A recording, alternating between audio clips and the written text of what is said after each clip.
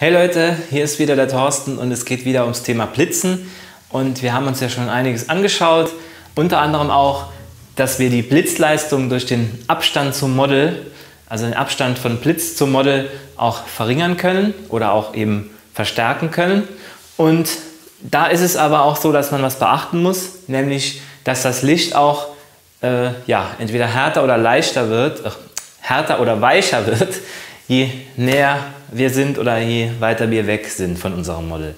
Ich zeige euch das einfach mal hier wieder und ich gehe hier einfach mal nah an unser Model heran. Ich habe hier den Durchlichtschirm wieder drauf geschnallt und hier oben den Aufsteckblitz. Ähm, ja, ich habe den auf drei Balken, also ein Sechzehntel Leistung. Und die Blende habe ich 3,5, ISO 100 und ein 160. Verschlusszeit. Das ist ja unsere Blitzsynchronzeit bei dieser Kamera. Und ich mache jetzt einfach mal so ein Bild. Und wir sehen, dass wir hier eine schöne weiche Ausleuchtung haben. Also unser Model ist weich ausgeleuchtet, das heißt, die Schatten sind eben nicht hart, also der Nasenschatten zum Beispiel, da sind eben keine harten Kanten beim Schatten zu erkennen. Und wenn wir jetzt den Blitz einfach mal noch hier etwas weiter zurückstellen, ich übertreibe das gerade mal ein bisschen hier, ihr seht den Blitz jetzt nicht mehr ganz, aber ihr erkennt ja noch, wo er hier steht. Also er ist schon ein gutes Stück hier entfernt. Und jetzt mache ich noch ein Bild.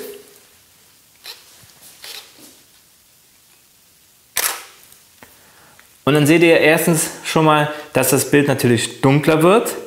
Das äh, haben wir ja schon im anderen Video gesehen, da wir ja die Blitzleistung dadurch verringern.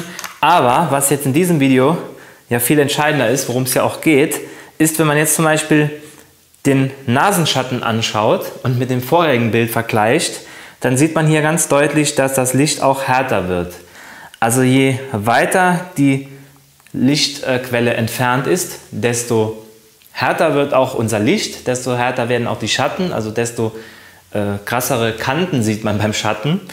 Und ja, das sieht natürlich jetzt nicht mehr so schön aus wie im ersten Bild.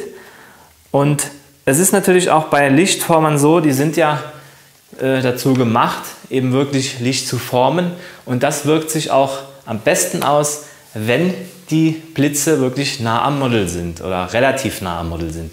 Ich bringe das Ganze hier noch ein bisschen weiter vor wieder so hier auf die Hälfte von der Distanz von vorher. Und ich mache da einfach mal noch ein Bild. Ich muss das noch ein bisschen hier auf das Model weiter ausrichten.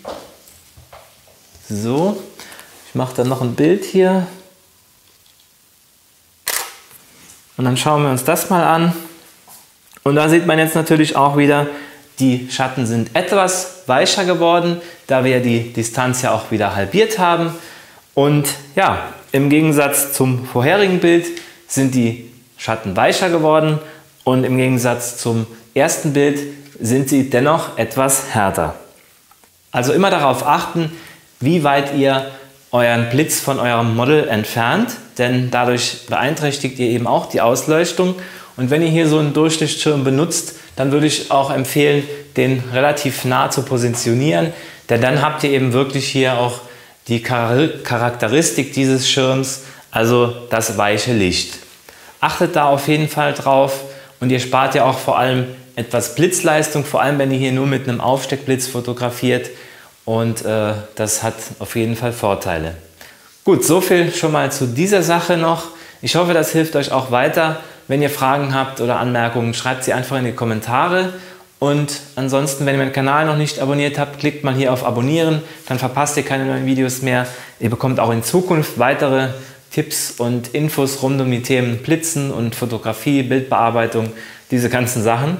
Und hier habe ich euch auch noch zwei Videos verlinkt, da könnt ihr auch mal schauen, ob da noch was für euch dabei ist. Da geht es auch ums Thema Blitzen.